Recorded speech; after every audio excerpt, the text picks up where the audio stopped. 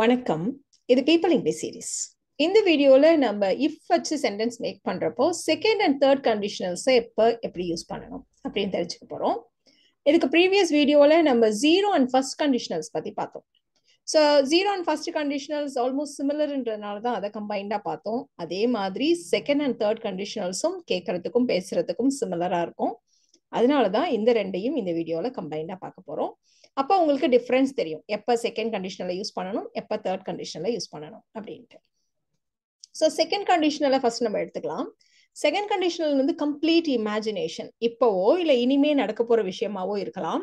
So அதில் நம்மளுடைய imagination அதுதான் நம்ம செகண்ட் கண்டிஷனில் யூஸ் பண்ணி சென்டென்ஸாக சொல்கிறதுக்கு யூஸ் பண்ணுவோம். So unreal and imaginary situation அப்படின்னு நம்ம சொன்னோம். இப்போ நடக்கிற மாதிரியோ இனிமே நடக்க போற மாதிரியோ நம்ம ஒரு இமேஜின் பண்ணலாம்.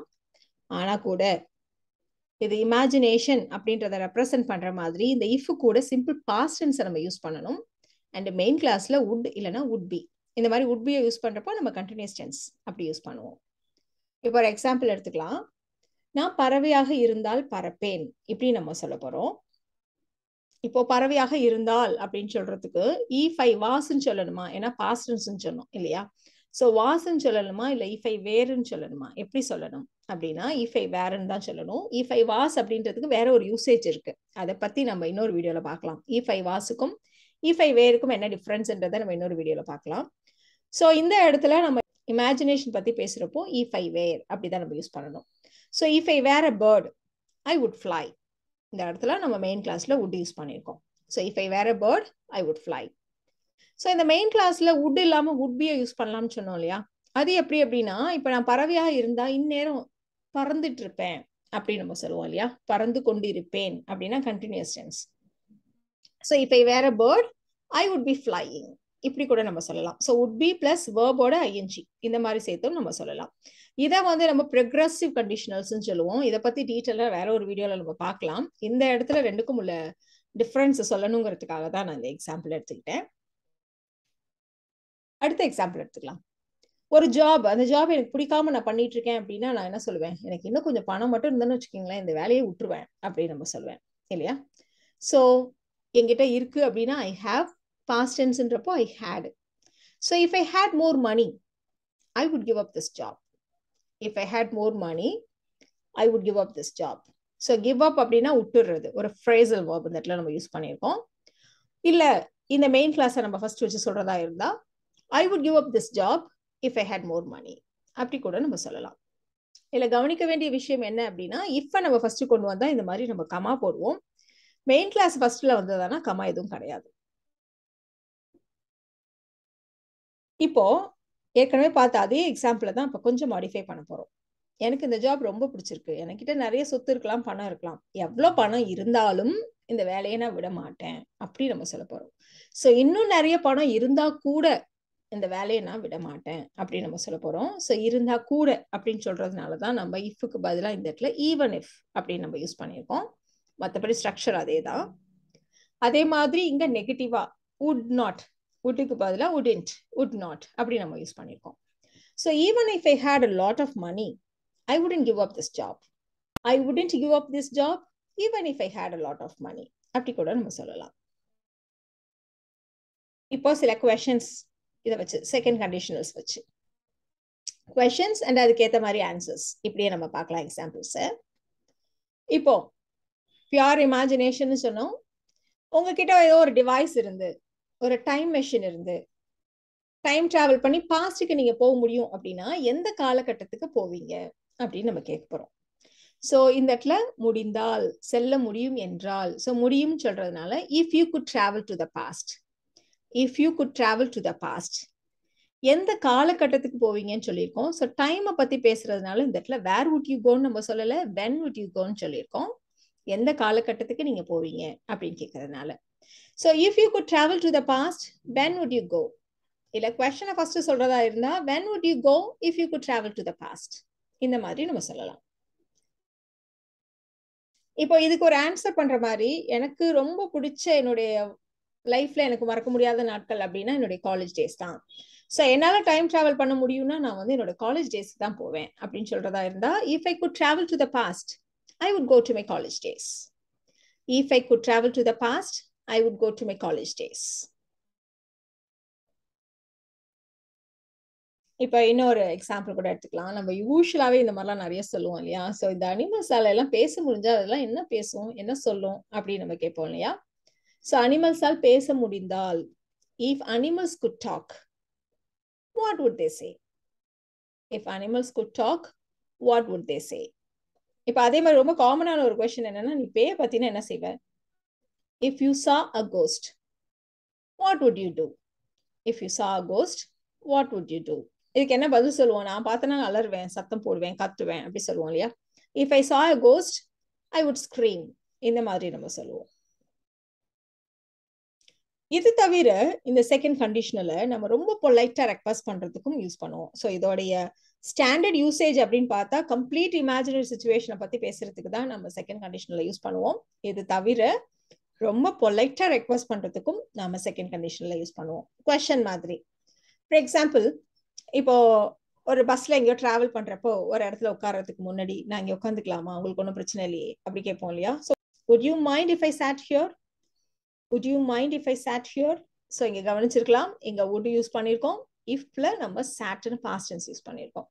So would you mind if I sat here so அதே மாதிரி ட்ரெயின்ல போறப்போ நான் கொஞ்சம் விண்டோவை க்ளோஸ் பண்ணிக்கலாமா? உங்களுக்கு ஒன்றும் பிரச்சனை இல்லை உங்களுக்கு ஓகே தானே?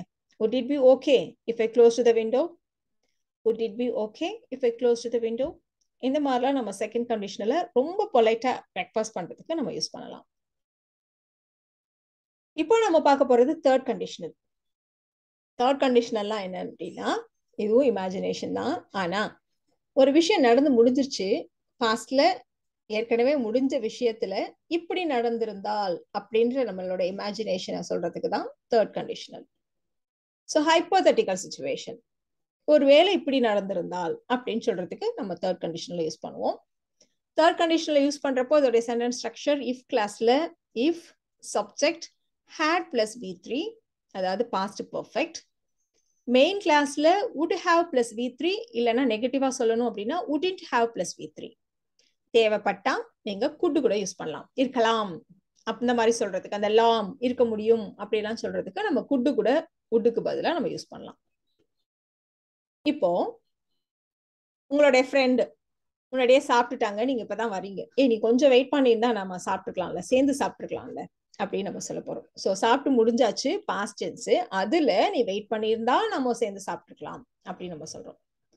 ஸோ இந்த இடத்துல வெயிட் பண்றதை பத்தி பேசுறதுனால if you had waited we could have eaten together சொன்ன மாதிரி லாம் அப்படின்னு சொல்றதுனால சாப்பிட்டு இருக்கலாம் அப்படின்னு சொல்றதுனால நம்ம உட்டில் இந்த இடத்துல குட் யூஸ் பண்ணியிருக்கோம் so if you had waited we could have eaten together ஒரு வாட்ச் வாங்குறதுக்காக போறீங்க. ரொம்ப நேரம் செலக்ட் பண்றதுக்காக நிறைய பார்த்துட்டு வாங்காமே திரும்பி வந்துட்டீங்க. ஸோ பாஸ்ட் இப்போ ஒருவேளை அவங்க டிஸ்கவுண்ட் கொடுத்துருந்தா நான் அந்த வாட்சை வாங்கியிருப்பேன் அப்படின்னு நம்ம சொல்ல போறோம். So if there had been a discount ஜென்ரலாக நம்ம எப்படி சொல்லுவோம்? There is a discount there was a discount அப்படின்னு நம்ம சொல்லுவோம். இந்த இஸ் பாஸுக்கெல்லாம் பேசிக் ஃபார்ம் வந்து பி அதுதான் இந்த ஹேட் பக்கத்தில் அதோடைய தேர்ட் ஃபார்ம் பீன்னு யூஸ் பண்ணியிருக்கோம். If there had been a discount I would have bought the watch இந்த வாட்சை நான் வாங்கியிருப்பேன். If there had been a discount I would up bought the watch ஒரு பொருள் காணா போயிடுச்சு கிடைக்கலன்னு நீங்க சொல்றீங்க. நல்லா தேடினியா? கரெக்டா தேடி இருந்தா கிடைச்சிருக்கும். ஒரு வேலை கிடைத்திருக்கலாம் அப்படின்னு நம்ம சொல்ல போறோம். நல்லா தேடி இருந்தா தரவோ தேடி இருந்தா கிடைத்திருக்கலாம் அப்படின்னு நம்ம சொல்றோம். ஸோ லாம்னு சொன்னாலே நம்ம வந்து குட் யூஸ் பண்ணுவோம்னு சொன்னோம் இல்லையா? If you had search thoroughly இல்லைனா if you had search carefully you could have found it if you had search carefully you could have found it இல்லைனா if you had search thoroughly you could have found it இப்போ நம்ம சில questions கேட்கலாம். சொன்ன மாதிரி ஏற்கனவே ஒரு விஷயம் முடிஞ்சிருச்சு. அதுல ஒருவேளை இப்படி நடந்திருந்தா அப்படின்னு கேட்கறதுக்கு தான் நம்ம தேர்ட் கண்டிஷன்ல யூஸ் பண்ணிட்டு இருக்கோம். காலையில கரண்ட் இருந்துச்சு என்னோட ஒர்க் எல்லாம் முடிஞ்சிருச்சு. இப்போ ஒருத்தவங்க என்கிட்ட கேக்குறாங்க ஒருவேளை காலையில கரண்ட் இல்லாம இருந்திருந்தா என்ன செஞ்சிருப்பேன் அப்படின்னு நம்ம சொல்ல போறோம். ஸோ காலையில கரண்ட் இல்லாம இருந்திருந்தா ஜென்ரலா நம்ம வந்து there was no power there is no power இப்படி நம்ம சொல்லுவோம். ஸோ அந்த இசு வாசுக்கான basic form பீன்றதுனால if there had been no power today morning இன்னைக்கு காலையிலங்கிறப்போ இப்போ மத்தியானம் ஆயிடுச்சு இல்லை ஈவினிங் ஆயிடுச்சுங்கிறப்ப தான் நம்ம காலையிலங்க வந்து நம்ம வந்து பாஸ்டில் சொல்கிறோம் if there had been no power today morning what would you have done what would you have done if there had been no power today morning what would you have done இப்போ இதே நம்ம கொஷனை கூட இந்த main கிளாஸை கூட முன்னாடி வச்சு கேட்கலாம். What would you have done if there had been no power today morning ஒரு காலேஜ் ஸ்டூடெண்டாக இருந்தால் ஒரு காலேஜ்ல சேர்ந்துட்டீங்க நீங்க. அப்போ பேசிட்டு இருக்கப்போ ஒரு பையன் கேட்குறான். இந்த காலேஜ்ல சேராம இருந்திருந்தா நீ வேற எங்க சேர்ந்துருப்ப?